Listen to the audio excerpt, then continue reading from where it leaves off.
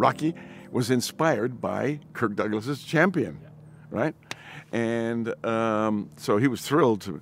But in the event, um, and and this was supposedly was characteristic of his behavior. He quarreled all the time with every. I mean, having accepted the script, once he got up in British Columbia, I started quarreling with every word, every line, and he would also um, purloin the, the lines from other characters.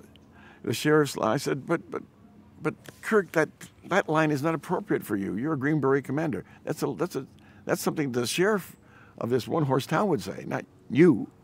But oh, it's a good line. I want it.